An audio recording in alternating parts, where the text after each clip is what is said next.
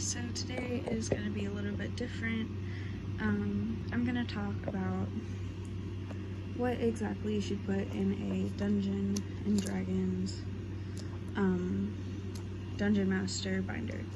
So just for a little prep for your upcoming campaign, or if you just want to do this during the campaign that you're already in, anything like that, it's good to stay organized and all of that, and I'll show you everything that I got and did for this binder.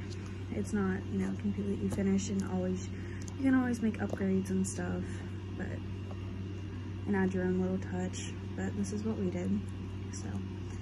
All right, so first, the campaign we're doing is Icewind Dale. Um, I edited the uh, book cover um, into a uh, PicsArt and put a Dungeons and Dragons sticker on it so it looks like it's actually, you know, meant to be there. And then whoever the, like I did this for the players too. So we have the um, name of the person, so Billy, and then we have his role, so Dungeon Master, and then on the side I also have his name, just in case, you know, we're just stacking them up and we don't know who's his who's.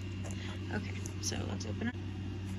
Alright, so we have some sticky notes. These are just from um, the dollar store. Everything was about a dollar for everything, so the binder was a dollar.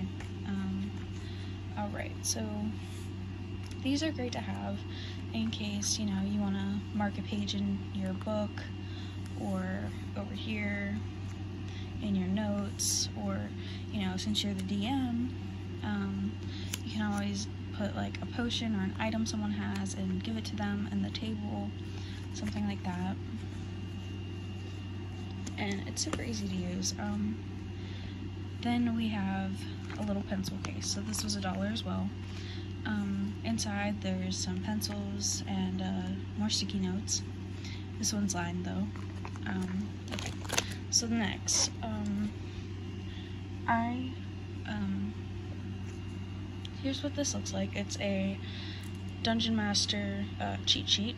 So it has encounters, objects, abilities, you know, all of that. Then like a little bit of uh, size comparison things.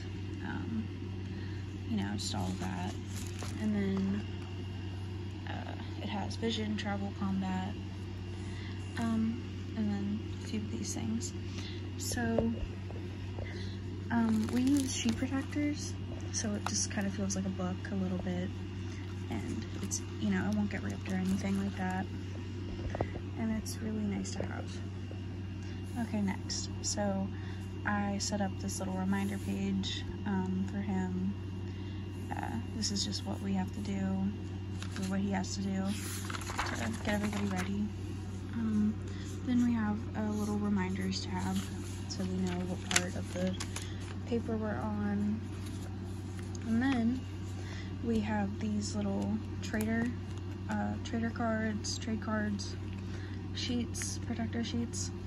So we have, you know, like little potions and such, resistance potions, um, and it says how much damage it has or, you know, whatever and it says what kind of potion, what, what it does.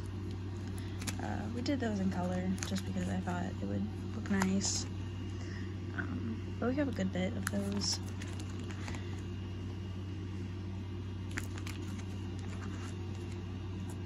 And that's all. Thanks for watching.